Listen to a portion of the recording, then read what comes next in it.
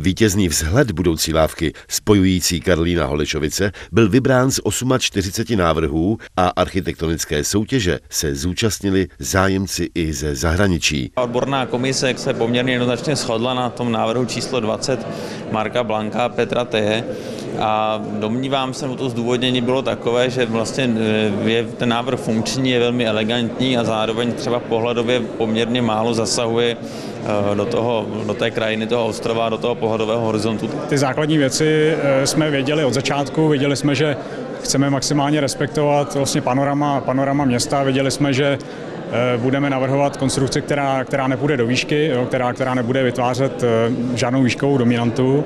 Budoucí tvar lávky působí velice elegantním a lehkým tvarem. S tím souvisí i stavební materiál, ze kterého bude postavena.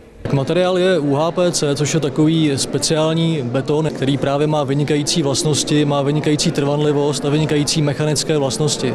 Nemá žádné pory ten materiál. Tyhle ty vlastnosti mechanické umožňují navrhnout tu konstrukci velmi subtilní, čehož jsme rádi využili. Nová lávka bude sloužit chodcům, ale i cyklistům z obou břehů Vltavy. Když se nad tím člověk zamyslí, málo které spojení mezi těmato dvěma městskými částmi je tak chybějící jako právě tady. Ať už jedete na kole nebo jdete pěšky, v určité chvíli dorazíte k vodě a ta logická linka, která přes tu vodu by měla vést, tuto chvíli není. Nová lávka mezi Karolínem a Holešovicemi by měla být dostavena do konce roku 2019. Tomáš Mladějovský, televize Praha.